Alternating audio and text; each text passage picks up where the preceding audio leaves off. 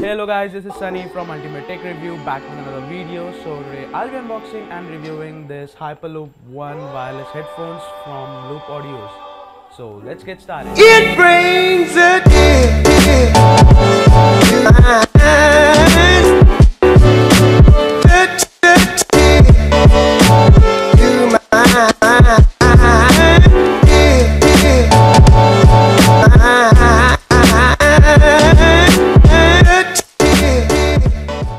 So this is what the packaging looks like from the front. We have this branding of Loop Audios and at the top it says Hyperloop 1. I am Groot. At the back we have the image of the product itself and some technical specification about it.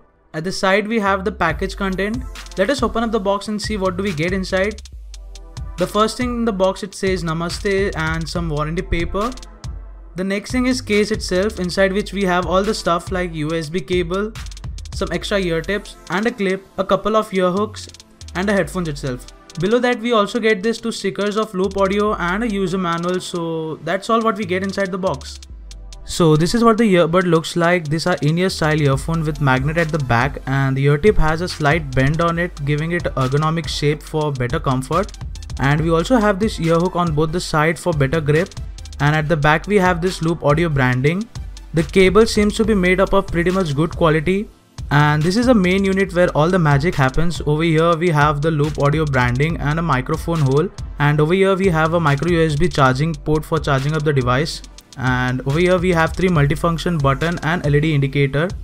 Overall build quality of this earphone is pretty much sturdy and feels quite premium well, pairing this headphone is similar to other Bluetooth headsets. Just press and hold the power key for a couple of seconds and once it goes to pairing mode, you can connect it with your mobile. I've been using this headphone for quite a while and still didn't notice any kind of connectivity issues in it.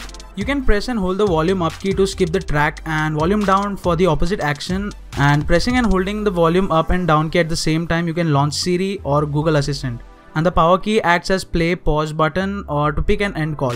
Talking about the sound, to be honest, I was not expecting the quality of sound it produced by such a new brand. The bass is very much powerful and impressive. Every bass out there, this thing is totally made for you guys. The highs and mids are also pretty much impressive and well balanced. The vocals produced in it was good as well and it also has a decent microphone. The noise cancellation is also quite impressive. But recently I came across some reviews related to the earphones not producing a good amount of bass. So the thing is that everyone has a different size of ear canal. So if the earphone does not fit perfectly, it won't create a good isolation which might not give you a proper experience. So you can select the different size of ear tips according to your size and then check the sound accordingly. So now comes the main highlight of this earphone. The company claims that this earphone battery lasts for 12 hours. Does it? Well, battery life in these earphones are of top notch. I've been using these earphones for quite a while and I was not at all disappointed by it. If you listen the song at 50 or 60% volume, it runs for more than 12 hours which is very much impressive.